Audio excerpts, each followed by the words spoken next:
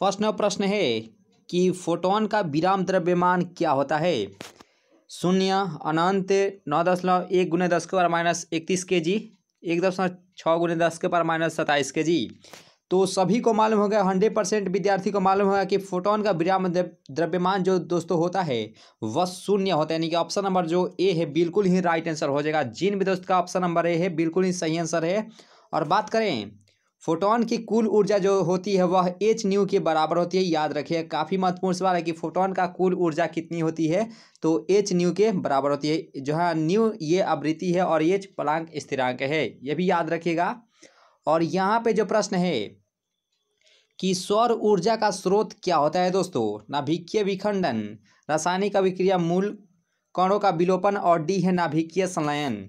तो आपको बताना चाहते हैं दोस्तों कि सौर ऊर्जा का मुख्य स्रोत जो होता है दोस्तों, वह नाभिकीय संलयन होता है। यानी कि ऑप्शन नंबर जो डी है, बिल्कुल ही राइट आंसर हो जाएगा। जिन भी दोस्त का ऑप्शन नंबर डी है, बिल्कुल ही सही आंसर हो जाएगा। और एक प्रश्न आता है कि परमाणु बम आधारित होता है तो वह नाभिकीय विखंडन पर आधारित रहता है। और हाइड्रोजन बम जो होता है दोस्तों, वह नाभिकीय संलयन पर आधारित रहता है, ये भी याद रखिएगा। काफ़ी महत्वपूर्ण सवाल है कि सौर ऊर्जा का मुख्य स्रोत क्या होता है तो वह नाभिकीय सलाइन के साथ इसका राइट आंसर हो जाएगा जिन भी दोस्त का ऑप्शन नंबर डी है बिल्कुल ही सही आंसर हो जाएगा। और यहाँ पे थर्ड नंबर प्रश्न है कि विद्युत का सबसे अच्छा चालक निम्न में कौन है? चांदी तांबा सोना जास्ता। तो यह पूछा कि सबसे अच्छा चालक कौन सा है विद्युत का? तो वह चांदी के साथ इसका राइट आंसर हो, जाएगा। जिन भी दोस्त का ऑप्शन नंबर है बिल्कुल ही राइट आंसर हो जाएगा। और सोना जो होता है वह वायुमंडल है मुख्य मुक्त अवस्था में पाए जाने वाला एक तत्व होता है जो कि इसका संचारण नहीं हो पाता है सोना का याद रखेगा और एक प्रश्न पूछा जाता है कि पीतल का किन किन धातुओं से मिलकर बना होता है? तो एक ट्रिक होता है पीताजी। तो पी से पीतल, त से तांबा और ज से जास्ता। तो तांबा और जास्ता से मिलकर बना होता है पीतल। याद रखे काफ़ी महत्वपूर्ण सवाल है। और यहाँ पे जो प्रश्न है कि आवेश का पृष्ठ घनत्व बराबर होता है दोस्तों। तो कुल आवेश गुने क्षेत्रफल, कुल आवेश अपन कुल क्षेत्रफल, कुल आवेश अपन कुल आयतन और डी है। कुल आवेश गुने कुल आयतन। तो आपको बताना चाहते हैं दोस्तों कि अगर आपको आंसर मालूम होगा तो जल्दी से टाइप कर दीजिए कमेंट बॉक्स में। और यहाँ प्रश्न था कि आवेश का पृष्ठ घनत्व जो बराबर होता है, क्या होता है?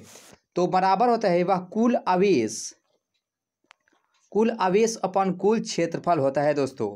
तो ऑप्शन नंबर जो बी है, बिल्कुल ही राइट आंसर हो जाएगा हो जाएगा। जिन भी दोस्त का ऑप्शन नंबर बी है, बिल्कुल ही सही आंसर हो जाएगा।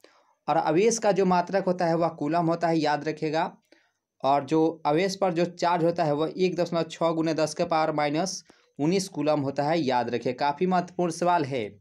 और ये जो प्रश्न है, इससे रिलेटेड आपको तीन से चार प्रश्नोत्तर बताएँगे ताकि बोर्ड एग्ज़ाम में अब एक भी प्रश्नोत्तर ना छूटे। हमारा लक्ष्य है सत्तर में सत्तर, यानी कि सब्जेक्टिव में भी सत्तर में सत पैंतीस में पैंतीस और ऑब्जेक्टिव में भी पैंतीस में पैंतीस, यानी कि सत्तर में सत्तर हमको चाहिए इस साल आपसे। यानी कि हंड्रेड परसेंट आप पर विश्वास है कि आप लाएँगे ही। और यहाँ पे प्रश्न था कि कार्बन प्रतिरोध का रंग कोड में पीला रंग का मान क्या होता है दोस्तों? तो बताना चाहते हैं दोस्तों कि काला रंग जो होता है, उसका मान, इसका कलर कोड में ज़ीरो होता है, काला रंग का ज़ीरो याद रखिएगा। और एक किसका होता है? एक जो होता है, वह कलई या भूरा रंग का होता है और लाल जो होता है, वह दो का होता है, लाल का दो और तीन जो होता है, वह नारंगी का होता है और बचा डी तो ये पीला रंग का हो जाएगा, यानी कि ऑप्शन नंबर डी है, बिल्कुल ही राइट आंसर हो जाएगा। और एक प्रश्न उत्तर पूछ, पूछता है कि हरा रंग का कलर कोड में इसका मान क्या होगा? तो हरा रंग का पाँच होता है, याद रखेगा तीन यह नारंगी का होता है और लाल का दो होता है और एक जो होता है वह भूरा या कलई का होता है और चार जो होता है, ये पीला रंग का होता है। जिन भी दोस्त का ऑप्शन नंबर डी है, बिल्कुल ही सही आंसर हो जाएगा। तो चलिए अब सिक्स नंबर प्रश्न को देख लेते हैं, जो कि काफ़ी महत्वपूर्ण है कि विद्युतीय द्विध्रुव अघूर्ण का एस आई मात्रक क्या होता है? Coulomb metre coulomb metre square coulomb metre inverse coulomb metre inverse two. तो विद्युतीय द्विध्रुव आघूर्ण का जो एस आई मात्रक होता है दोस्तों, जल्दी से कमेंट बॉक्स में इसका राइट आंसर छाप दीजिए। गोली की तरह कि आप की तैयारी कैसी चल रही है, जल्दी से अपना आंसर जल्दी से टाइप कर दीजिए। उम्मीद करते हैं अब तक आपका आंसर भी आ गया होगा कि विद्युतीय द्विध्रुव अघूर्ण का जो एस आई मात्रक दोस्तों जो होता है, वह कुला मीटर स्क्वायर होता है। यानी कि जिन भी दोस्त का ऑप्शन नंबर बी है। बिल्कुल ही सही आंसर हो जाएगा। और बात करें, ये तो प्रश्न हंड्रेड परसेंट पूछा जाता है कि one upon four pi epsilon naught का मान क्या होता है दोस्तों? जल्दी से अपना आंसर टाइप कर दीजिए कमेंट बॉक्स में कि फोर पाई एप्साला नॉट का मान क्या होता है। तो इसका जो मान होता है दोस्तों, जिन भी दोस्त का ऑप्शन नंबर ए है, बिल्कुल ही राइट आंसर हो जाएगा। दस के पावर माइनस नौ न्यूटन मीटर स्क्वायर प्रति कुलम स्क्वायर, यानी कि ए इसका सही आंसर हो जाएगा। और एक प्रश्न पूछा जाता है कि एप्साइलन नॉट का मान क्या होता है? तो एप्साइलन नॉट का जो मान होता है दोस्तों, वह आठ दशमलव आठ पाँच गुने पाँच के जगह पर दो भी लिखा जा सकता है, जा सकता है और आठ दशमलव आठ पाँच गुने दस के पावर माइनस बारह न्यूटन मीटर स्क्वायर प्रति कुलम स्क्वायर हो जाएगा। ये भी याद रखिएगा। दोनों में से एक सवाल आपके बोर्ड एग्ज़ाम में सेम टू सेम रहने वाले हैं। तो चलिए अब नेक्स्ट प्रश्न को देखते हैं।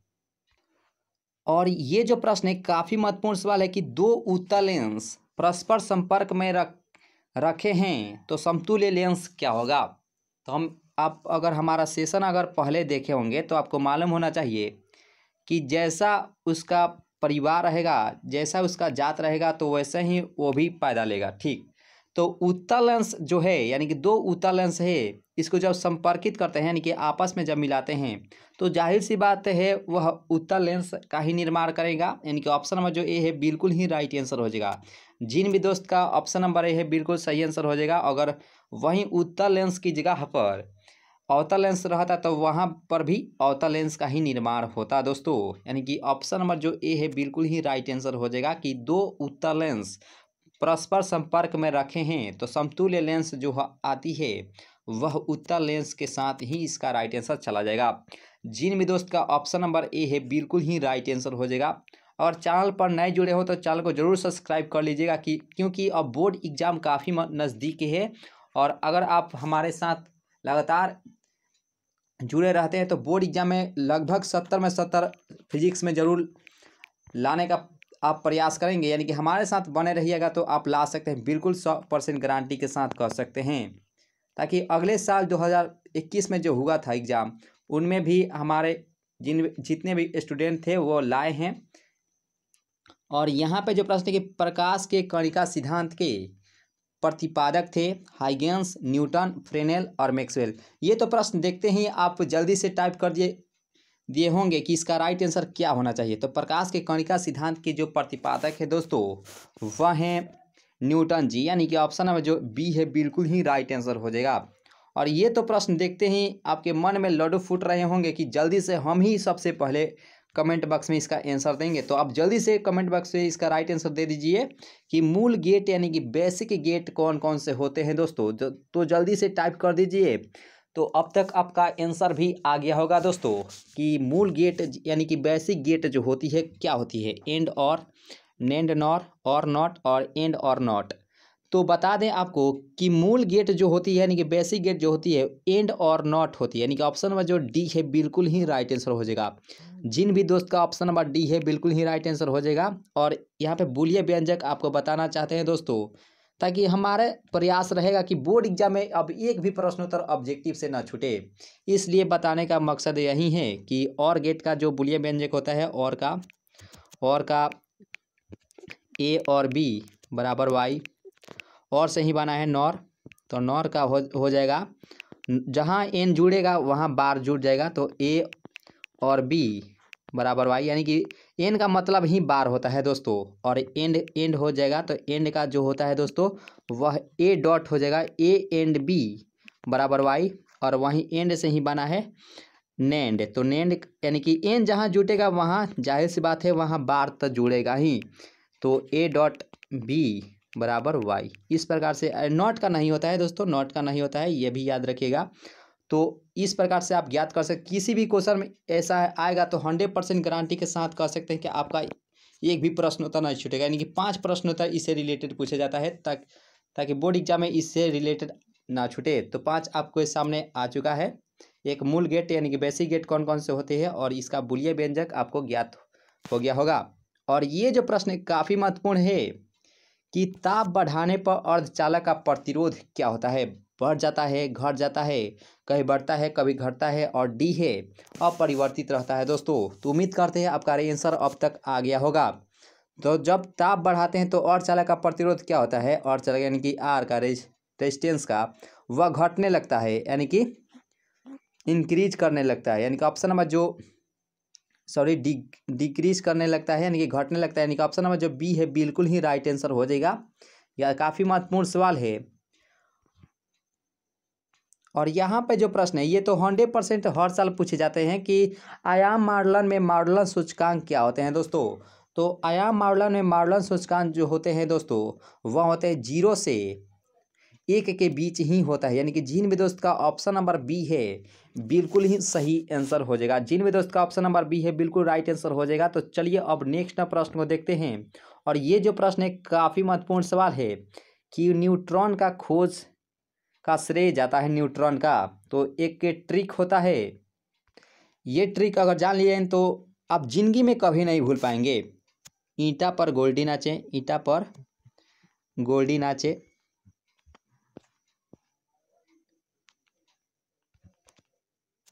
गोल्डी नाचे। ये हो गया ई से इलेक्ट्रॉन। इलेक्ट्रॉन के खोजकर्ता टॉमसन टॉमसन हो जाएगा। और पर से प्रोट्रॉन प्रोट्रॉन का खोजकर्ता गोल्ड स्टीन न से न्यूट्रॉन न्यूट्रॉन और च से चेडविक। तो इलेक्ट्रॉन की खोजकर्ता टॉमसन प्रोट्रॉन की खोज, खोजकर्ता गोल्ड स्टीन और न्यूट्रॉन की खोजकर्ता जेम्स चेडविक। तो चेडविक हो जाएगा। तो अब तक आपका आंसर भी आ गया होगा कि न्यूट्रॉन की खोजकर्ता का श्रेय किसे जाता है? तो टॉमसन को जाता है। यानी कि ऑप्शन नंबर जो ए है, बिल्कुल ही राइट आंसर हो जाएगा। जिन में दोस्त का ऑप्शन नंबर ए है, बिल्कुल सही आंसर हो जाएगा। और चेडविक जो होते हैं, ये न्यूट्रॉन के होते हैं। याद रखें, काफ़ी महत्वपूर्ण सवाल है। और यहाँ पे जो प्रश्न है कि इनमें से कौन आवेश रहित है? यानी कि किसमें आवेश नहीं होते हैं दोस्तों? अल्फ़ा कौन बीटा कौन फोटोन कौन या फोटोन? तो बताना चाहता है फोटोन और फोटोन कौन में काफ़ी आपको कंफ्यूज होता होगा। तो आपको इस वीडियो के माध्यम से, इस प्रश्न के माध्यम से आपको इसका क्लियर भी हो जाएगा। तो जहाँ फोटोन होगा, वह राइट आंसर नहीं होगा। तो फोटोन कौन के साथ इसका राइट आंसर चला चला जाएगा। यानी कि आवेश रहित जो होता है, वह फोटोन कौन ही होता है। यानी कि सी इसका सही आंसर हो जाएगा। तो चलिए नेक्स्ट प्रश्न को देखते हैं। और यहाँ पे जो प्रश्न है कि और गेट का बुलिये व्यंजक क्या होता है? ये तो देखते ही एक सौ यानी कि एक हज़ार परसेंट विद्यार्थी का आंसर आ गया होगा, यानी कि सही आंसर। तो और गेट का बुलिये व्यंजक जो होता है दोस्तों, वह ए और बी बराबर वाई यानी कि ए के साथ इसका राइट आंसर चला जाएगा। और ये जो होता है, ये एंड एंड के लिए होता है एंड गेट के लिए, और नॉर के लिए जो होता है, इस पर बार चढ़ जाएगा, और नैंड के लिए इस पर बार चढ़ जाएगा। इस प्रकार से आप ज्ञात कर सकते थे, बिल्कुल ही आसानी से। तो आइए आज का सिक्सटी प्रश्न को देखते हैं। इसका अगर पीडीएफ चाहते हैं दोस्तों पीडीएफ फ्री में ही आपको पीडीएफ दिया जाएगा, ताकि आपको अब प्रैक्टिस की ज़रूरत है। तो जितने प्रैक्टिस करेंगे, उतना ही आपको अच्छा रिज़ल्ट होगा। तो practice the key of success. अगर प्रैक्टिस करते हैं तो आपका रिज़ल्ट बहुत ही बेहतर होने वाला है। तो इसका पीडीएफ चाहते हैं तो डिस्क्रिप्शन बॉक्स में लिंक दिया गया है। टेलीग्राम से जुड़कर इसका पीडीएफ डाउनलोड कर सकते हैं, बिल्कुल फ्री में ही। तो चलिए नेक्स्ट प्रश्न को देखते हैं। और यहाँ पे जो प्रश्न है कि प्रकाश तंतु यानी कि ऑप्टिकल फाइबर का सिद्धांत आधारित तो होता है विवर्तन, व्यतिकरण, पूर्णांतिक परिवर्तन, अपवर्तन। तो प्रकाश तंतु यानी कि ऑप्टिकल फाइबर का सिद्धांत जो आधारित रहता है दोस्तों, वह टी आई आर यानी कि टोटल इंटरनल रिफ्लेक्शन पर आधारित रहता है, यानी कि पूर्ण आंतरिक परिवर्तन पर। यानी कि ए के सॉरी सी के साथ इसका सही आंसर चला जाएगा। जिन भी दोस्त का ऑप्शन नंबर सी है, बिल्कुल ही राइट आंसर हो जाएगा। विवर्तन में तो प्रकाश का तीक्ष किनारों से मुड़ना ही विवर्तन कहलाता है। और ये तो चिड़िया का रंग निर्धारित होता है व्यतिकरण से अपवर्तन में। जब कांस के सिले में जब छड़ी को डुबाते हैं तो वह टेढ़ा महसूस होता है तो वह अपवर्तन के कारण ही ऐसा हो पाता है। तो ऑप्शन नंबर सी इसका सही आंसर हो जाएगा। और यहाँ पे जो प्रश्न है, ये तो काफ़ी महत्वपूर्ण सवाल है कि माडुलन के विपरीत प्रतिक्रिया को क्या कहते हैं? बी माडुलन प्रेषण रिमोट ट्रेसिंग एफेक्ट्स तो ये प्रश्न देखते ही आपका आंसर भी आ चुका होगा। अब तक कमेंट बॉक्स में तो जल्दी से टाइप कर दीजिए, इसका राइट आंसर क्या होगा? तो बी सॉरी माडुलन के विपरीत प्रतिक्रिया को जो कहते हैं, वह बी माडुलन कहते हैं। यानी कि ऑप्शन नंबर जो ए है, बिल्कुल ही राइट आंसर हो जाएगा। इसका पीडीएफ ज़रूर डाउनलोड करिएगा कमेंट बॉक्स के माध्यम से। और कमेंट बॉक्स में भी आपको पिनअप कर दिया जाएगा। टेलीग्राम का ग्रुप का लिंक और डिस्क्रिप्शन बॉक्स में तो दिया ही जाएगा टेलीग्राम का लिंक और यहाँ पे जो प्रश्न है कि भूत रंगों का ध्रुवण होता है, पृथ्वी तल के किसी भी दिशा में साठ डिग्री के कोण पर लंबवत या समानांतर। तो आपका आंसर अब तक आ गया होगा। जल्दी से कमेंट बॉक्स में इसका राइट आंसर दाग दीजिए गोली की तरह कि भूत रंगों का ध्रुवण क्या होता है तो पृथ्वी तल के क्या होता है? तो क्या होता है इसमें कि यह पृथ्वी तल के नाइन्टी डिग्री पर होता है। तो नाइन्टी नाइन्टी डिग्री कहने का अर्थ है यह लंबवत ही होता है। यानी कि ऑप्शन जो सी है बिल्कुल ही राइट आंसर हो जाएगा। जिन भी दोस्त का ऑप्शन नंबर सी है, बिल्कुल सही आंसर हो जाएगा। और ये जो प्रश्न है, काफ़ी महत्वपूर्ण सवाल, इससे रिलेटेड एक से दो प्रश्न उत्तर हंड्रेड परसेंट बोर्ड एग्ज़ाम में इस साल रहने वाले हैं कि दीर्घ दृष्टि दोष में उपयुक्त लेंस होता है। तो दीर्घ दृष्टि दोष में उपयुक्त लेंस जो होता है दोस्तों, वह उत्तल के साथ इसका राइट आंसर चला जाएगा। यानी कि सी इसका सही आंसर हो जाएगा।